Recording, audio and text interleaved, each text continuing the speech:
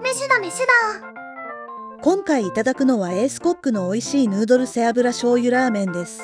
エースコックになぜか情報がない美味しいヌードルシリーズですか。背脂醤油と聞くだけでよだれが止まりません。確かにラーメンとしてはなかなか美味しそうなワードですよねそれ以外は特に特徴もなく普通なのが美味しいヌードルシリーズ全般の特徴だよね。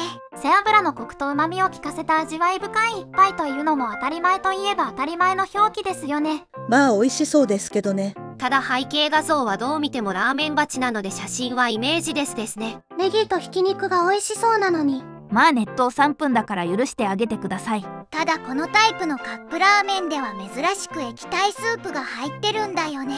意外とこだわりを感じますね。液体スープは別に蓋の上で温めなくてもいいタイプのようです。蓋の上で温めることを3分経った時に気づくあれですよね。絶望しますそんな大げさなこのサイズで液体スープってのがちょっと大げさな気がするけどね。でも意外と具が入ってるのでパッケージ画像に近い感じにはなりそうですね。それは楽しみです。一応粉末スープらしきものは入ってるようですね。蓋の上で温めろって書いてありました。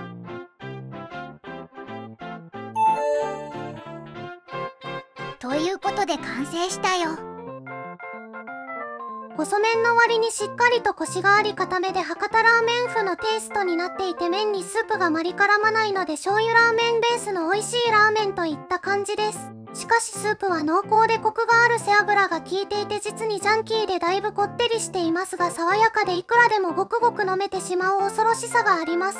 麺の小麦感に味わい深い背脂醤油のコクがとても満足感があり美味しいですが具がちょっと空気な感じですね。